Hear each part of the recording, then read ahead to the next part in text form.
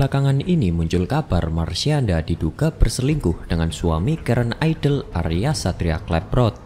Banyak pihak menunggu-nunggu klarifikasi dari penyanyi dan aktris Marsyanda setelah dirinya diduga berselingkuh dengan suami finalis Indonesian Idol Karen Pori yakni Arya Satria Kleprot di apartemen milik Marsyanda.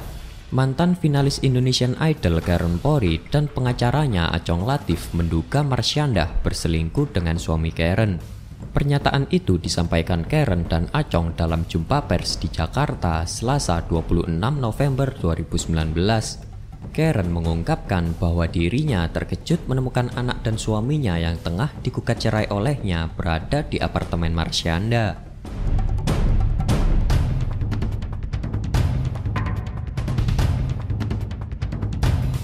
Peristiwa bermula ketika pada 8 September Karen tengah cekcok dengan sang suami dan mengalami kekerasan dalam rumah tangga.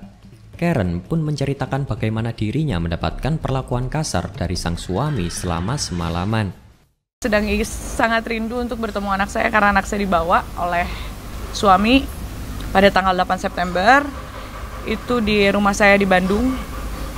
Pada saat itu dilakukan tindak KDRT terhadap saya tindak KDRT-nya adalah uh, suami membekap saya, menduduki badan saya, memukul saya juga, melakukan uh, kekerasan verbal dan uh, seksual juga.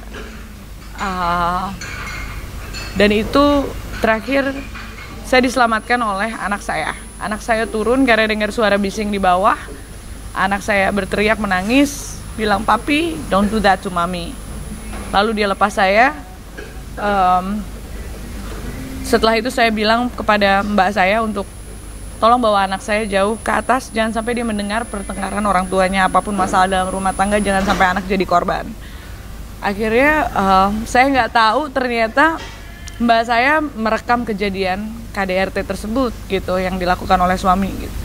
Uh, itu sebagai bukti saya. Pada saat itu langsung anak saya dibawa oleh suami dan Uh, saya juga langsung melaporkan tindakan KDRT tersebut pada hari yang sama setelah saya selesai menangis dan ya down lah ya gitu. Uh, trauma. Akhirnya saya menguatkan diri saya untuk melaporkan tindakan tersebut. Saya pergi bersama ayah saya dan uh, mbak saya untuk laporan ke Polrestabes Bandung. Sampai sekarang masih berproses ya Bu Ellen? Sampai sekarang masih berproses. Dan um, ketika itu saya mencari anak saya selama berminggu-minggu tidak bisa menghubungi semua akses saya ditutup untuk melihat anak saya dan menghubungi dia ditutup akhirnya ya namanya ibu ya saya mencari anak saya ke mana-mana akhirnya diketemukanlah suami dan anak sedang berada di salah satu apartemen di Jakarta Selatan yang adalah milik milik Marsyanda. Pantauan dari Harian Indo di media sosial Marsyanda belum muncul klarifikasi dari pihak Marsyanda. Artinya tuduhan Karen terhadap Marsyanda sejauh ini belum terklarifikasi.